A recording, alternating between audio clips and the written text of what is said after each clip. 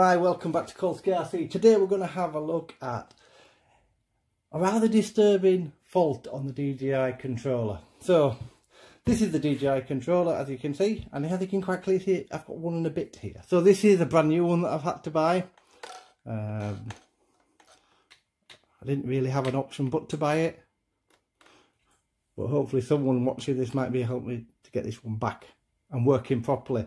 So, this is brand new controller. Bought it last week, 299 quid, because of this. So this is the DJI controller I had.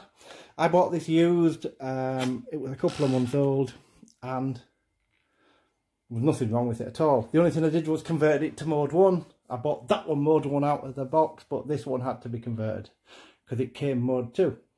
So that's the only thing that was anything that's been done to it really. So I'm flying the other day and Obviously this is where I have my throttle now and as I was flying the throttle locked itself in mid position. The spring took hold and um, I always got down because it was spring loaded then but it was quite a bit of an effort to fly as you can well imagine. I had to keep remembering to pull down, got it to land and took the back off and this is what I found. So I'm just gonna, if you've never seen inside the DJI controller they are quite smart inside, a lot of stuff going on so I'm to give you a quick tour around it. So Inside here you have the motherboard or the brains of the unit, the main chips under here and this is a fan and this is your heat source. So the air comes through here, cools the chip and ports out of here. And there's holes in the bottom of the controller and that's to keep that chip cool. Must be doing a hell of a lot. I can't not profess to know what's going on in there but there's a lot going on in there and as you can see at the top there are your switches much nicer than on a lot of drones really nice and then you've got your main board at the top where all your connections are for your switches.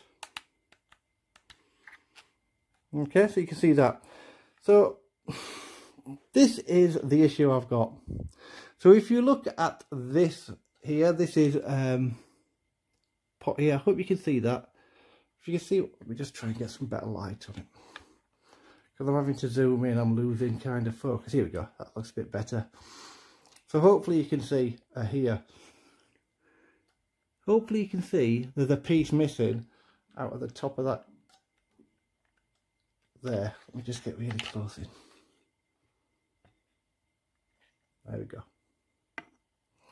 So here, there's a chunk missing out of there. Because that should have a piece off that comes off the side here, which is this.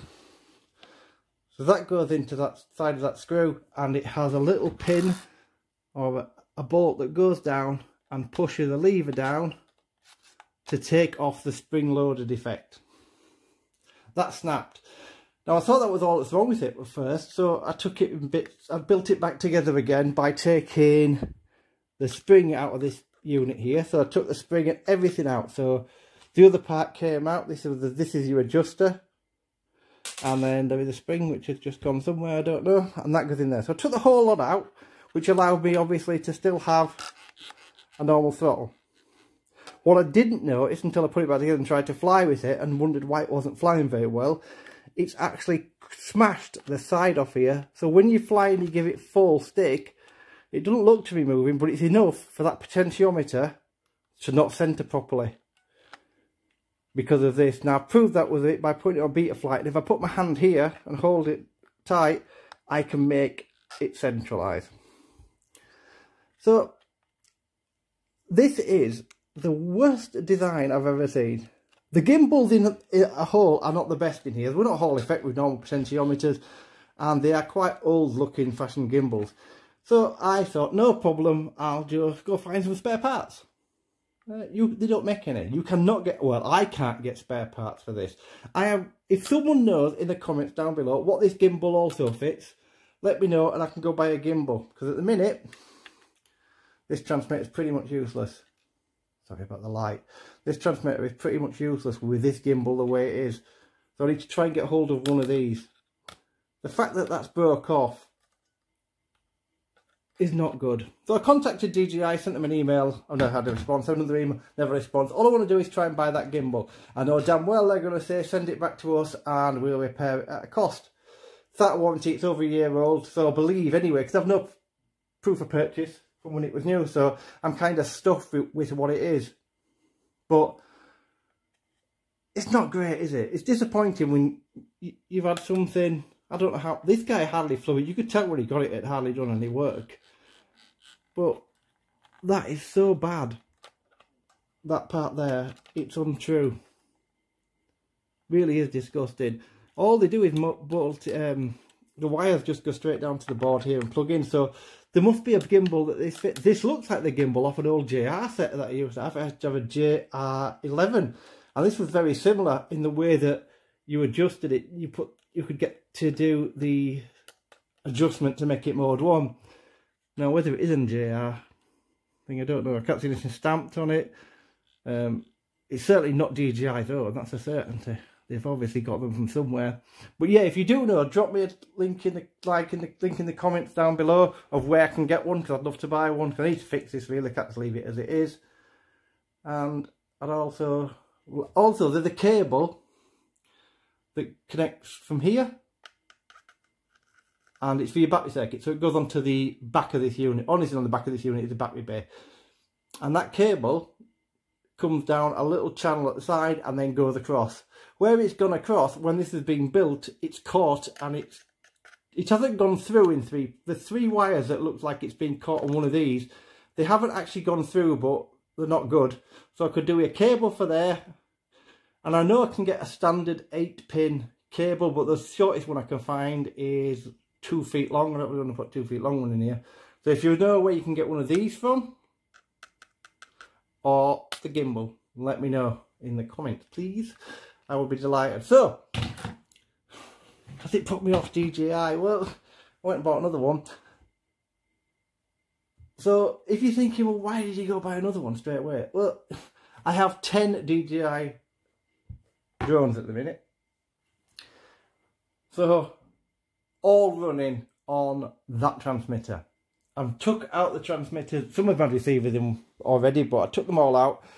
And so the only option I had was, I toyed with the idea is, because now I've got Crossfire, is just flying on me Radio Master or the Jumper and flying all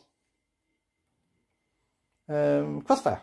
So I could have buy some Crossfire minis, but micros or whatever they are. But that was going to cost me 300 quid to do that. Plus the fact I'd have to dewire everything, put them all in, wire them all up, bind them all, set them all back up again. Whereas for 299, the, I bound 10 quads in under 10 minutes with this. That's how easy it is to bind the DJI system. And then I'm back up and flying again. Am I happy with the state of affairs? Not at all. I honestly believed that I could just go buy a gimbal for this. And then I thought, oh, I'll buy a gimbal. Be about 50 quid, maybe tops for a pair of gimbals. I might even see if I could do Hall, but I can't. So if you do know where you can get these from, let me know in the comments. If you've converted one of these to Hall Effect gimbals, let me know as well.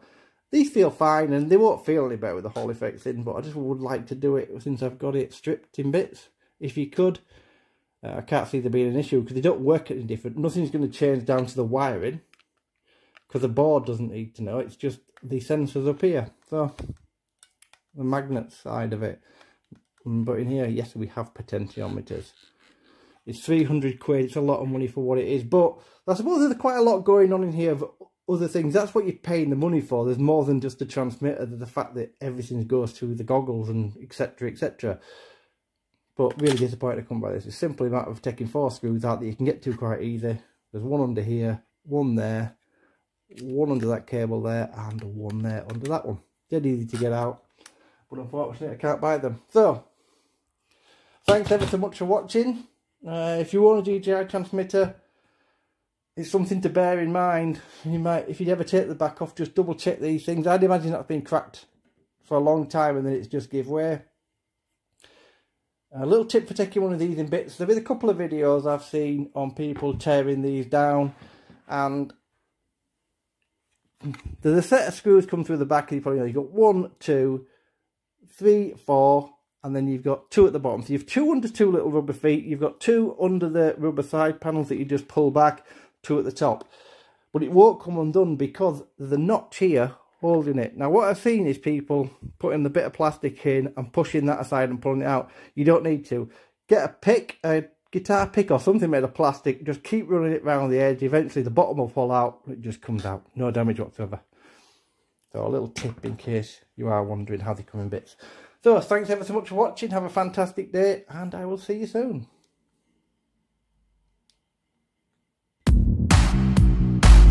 Thanks for watching my channel. If you like the video, please subscribe and hit the like button and also hit that notification bell. There's plenty more good stuff coming up.